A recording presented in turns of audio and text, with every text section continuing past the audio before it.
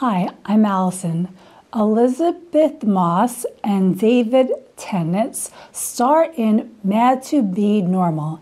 It was one film featured in the 10th annual ReelAbilities movies.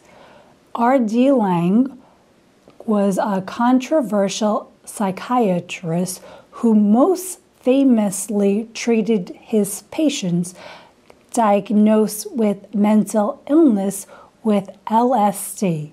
His methods outraged London in the 1960s and 70s. It brought about changes in the attitudes toward mental illness across the community. I know Elisabeth Moss from The Handmaid's Tale and Mad Men. I also know Gabriel Burns, who is in Mad, who is in Mad to Be Normal, from Little Women and The Usual Suspects.